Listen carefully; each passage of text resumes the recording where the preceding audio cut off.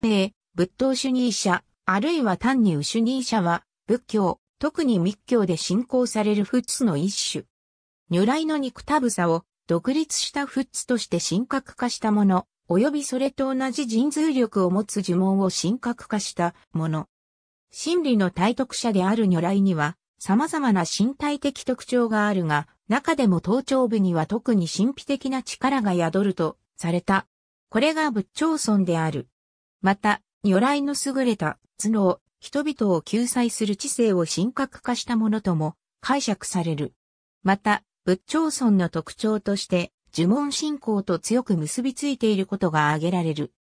仏頂尊に捧げられたダラニや種子を唱えることで、死者の魂を救済し、様々な最悪から逃れ、悪心を重複する等の霊言があるとされる。それは、一般に、仏頂尊を説く経典の物語が、以下のような内容となっているためである。すなわち、仏滅後はこの呪文がそのまま、釈迦の仏頂であるとして同一視され、神格化された。仏頂尊の各種の呪文は、特に把握種、つまり、死者の魂を苦しみの世界から救うことに霊言があるとして、総霊時に多く唱えられる。一般的に、仏頂尊は、送信具を身にまとった菩薩と同じような姿で表される。あるいは、天輪聖王のごとしとも言われる。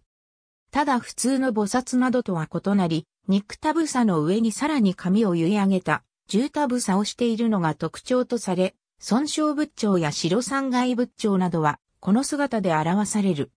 ただし、中には一時か縄仏頂や、四条光仏頂のように如来の姿をしたものもある。ありがとうございます。